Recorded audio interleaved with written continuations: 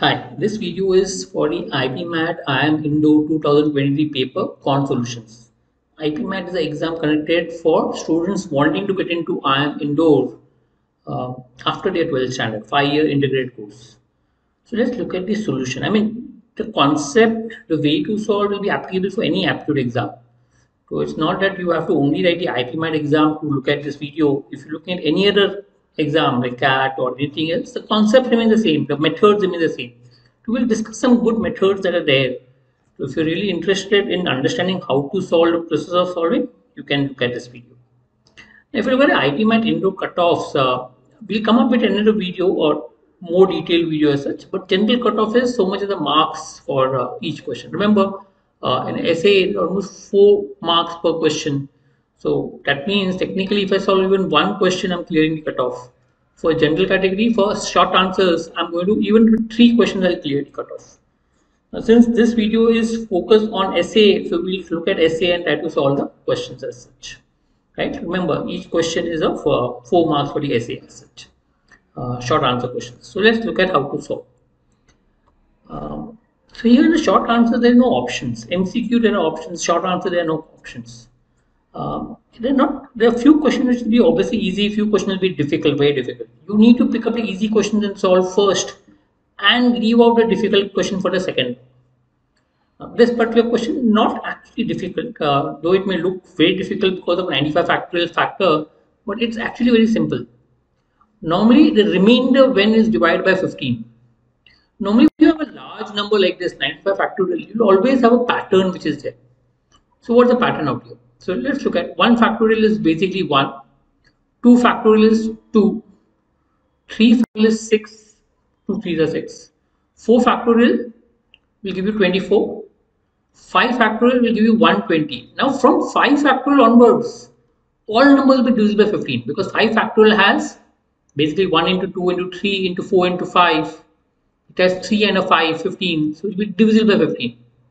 Same way from this onward, 6 factorial also will be divisible by 15. That is 120 into 6, 720. Okay, will be divisible by 15 and so on. So we don't have to worry about these because the remainder everywhere out here will be 0. So we need to only focus on these numbers. 1, 2, 6, 24. But everywhere else from 5 factorial onward the remainder is 0. So this sum is 33.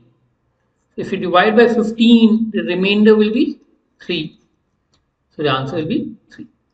Okay, if you divide by 15, the remainder basically will be 3, which is the answer in this case.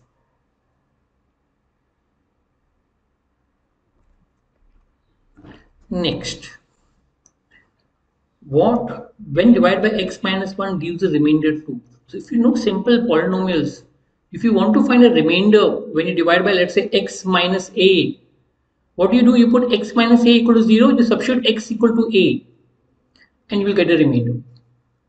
So in this case, you're dividing by x minus 1. So put x minus 1 equal to 0. To find the remainder, put x equal to 1. So I put x equal to 1 in this above equation. What do you get? 1 raised to anything will become 1. So it becomes 4 minus 1 plus 3 minus 5. Or coefficient basically. 4 minus 1 plus 3 minus 5 plus c plus 2 minus 1 plus 1 minus 4 plus 6 minus 2 and this remainder gives you 2 so this I mean 4 minus 4 actually gets cancelled. Minus 1 plus 1 gets cancelled. Plus 2 minus 2 gets cancelled. So what do you get? Plus 3 plus 6 gives you plus 9 plus 9 minus 6 okay will give you the value. I'll repeat again. So you basically calculate everything. You realize that plus 4 minus 4 gets cancelled. Minus 1 plus 1 gets cancelled. Plus 2 minus 2 gets cancelled. If you look at the remaining value 6 plus 3 is 9 9 minus 6 is 3. So basically you get 3 plus c equal to 2 or c you will get as minus 1. The moment you get c equal to minus 1, so c plus 6 will be equal to minus 1 plus 6 which will give you 5 as the answer. Right? Not very difficult. If you just know simple as to how to find the remainder, I mean this is just simple calculation you get the answer immediately. Right? So the key to getting uh, cracking the exam is to get maximum marks possible as far as possible. Okay, clearing the cutoff is one part, but what you need to do is score as high as possible. That is what will help you to crack the final results. function. Again, there's a very large value 2023. Whenever there's a rule, whenever there's a large value, like in the first sum we had a 95 factorial, here we have 2023. Whenever you have a large value, you find the pattern for smaller numbers. You automatically get a larger number. You get a pattern from the smaller numbers and from there you get a larger number. So in this case, F1 is given as 1 already. So what is F2? F2 will be substitute n equal to 2, you'll get 3 into 2 minus F1 which is 1, 5. F3, F3 will be 3 into 3 minus F2 which is 5 will give you 4. F4, F4 will give 3 into 4 minus the F3 previous one 4 you get 8 if you look at it. F5, you get 3 into 5 minus 8 previous one, you get 7. Try to find pattern. You Look at alternate numbers that is pattern. 1 to 4 is plus 3, 4 to 7 is plus 3. Similarly, 5 to 8 is plus 3. So alternate numbers are increasing by plus 3, plus 3, plus 3.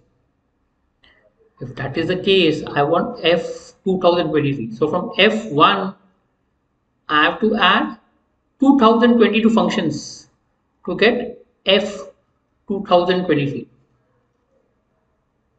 right?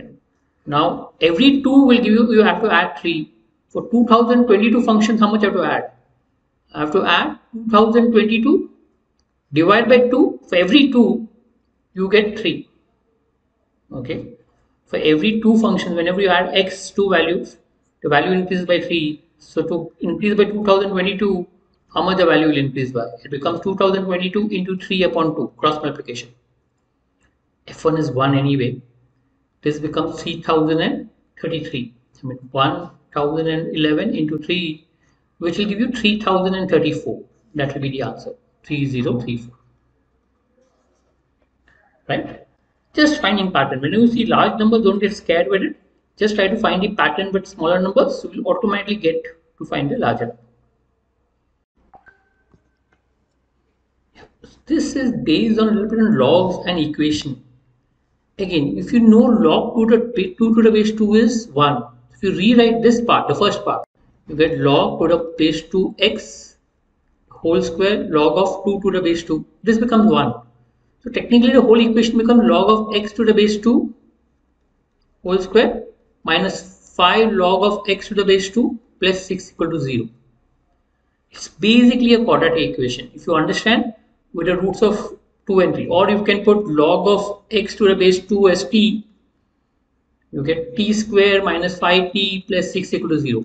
Technically even if you don't put t and you can directly make out that the roots of this equation will be 2 and 3. Sum of the roots is 5, product of the roots is 6, the roots is 2 and 3. Which means you get 1 log of x to the base 2 as 2 and log of x to the base 2 as 3. This will give you x as 2 square which is 4 and this will give you x as 2 cube which is 8. So you get 1 is 4, 1 is 8. You want product of the roots. Product of the roots is 4 into 8 which will give you 32. So 32 is the answer.